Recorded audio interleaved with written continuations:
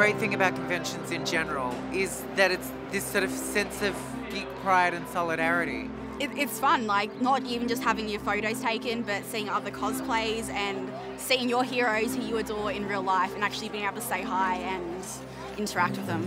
And just seeing sort of so many people excited and enthusiastic about the same type of thing, it's, it's a very um, vibrant culture. There's this amazing thing that happens where you get in costume and then all of a sudden you have magical powers and you have this new kind of flair about you and this confidence that kind of comes with that. And so that that aspect of cosplay is, I think, why people are so attracted to doing it. Because that allows me for a, for a day or two, even a couple of hours, just to, to really be that hero. What a way to bond with your kid. Get dressed up as your favorite characters. I think it feels really good to pretend to be the best parts of you.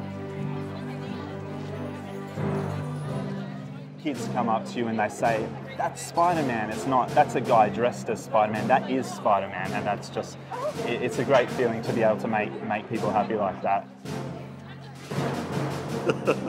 Everybody likes to dress up.